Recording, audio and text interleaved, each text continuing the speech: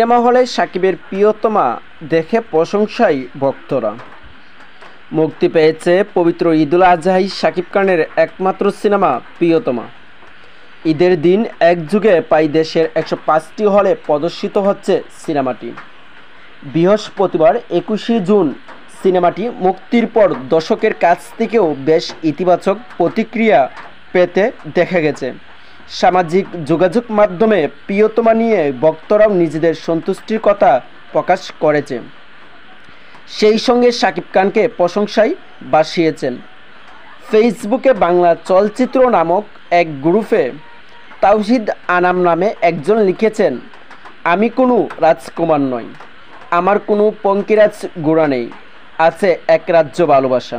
তুমি কি আমার প্রিয়তমা হবে? শঙ্করাপি প্রিয়তমা সিনেমার শাকিব খানকে শেষ কবে এত ভালো অভিনয় করতে দেখেছি ভুলে গেছি। সাকিবকে দিয়ে সব রকম চরিত্রে অভিনয় করানো যায়।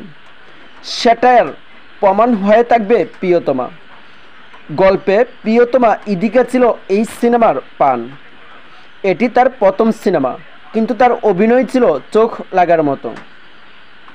অনুক আজম নামে একজন লিখেছেন, প্রিয়তমা, দেখে আসলাম। প্রথম দিন, প্রথম শু।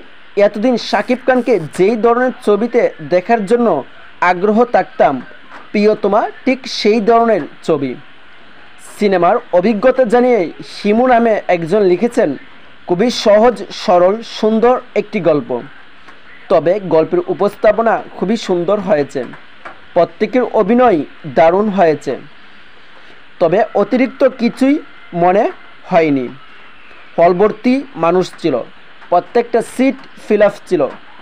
এমন দর্শক আর কোনো সিনেমাতে দেখা যায়নি। এছাড়াও গণমাধ্যমের কাছেও সিনেমার পরবর্তী প্রতিক্রিয়া নানা মন্তব্য জানিয়েছেন দর্শকরা। যেখানে সকলেই সাকিবের অভিনয় ও তার লুকের প্রশংসা করেছেন। এবার ঈদে আপনিও যদি এখনও প্রিয়তমা না দেখে থাকেন, আপনার প্রিয়তমাকে নিয়ে প্রিয়তমা দেখে আসুন। ধন্যবাদ